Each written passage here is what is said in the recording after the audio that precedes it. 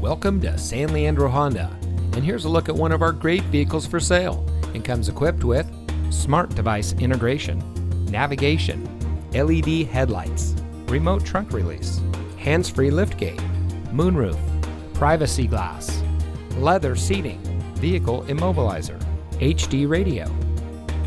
San Leandro Honda has been in business since 1971 and is one of the most successful dealerships in the Bay Area.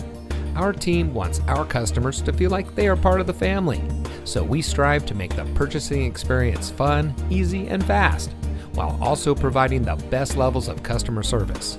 We are centrally located and easy to find, right off the 880 and directly across from the Premium Outlet Mall.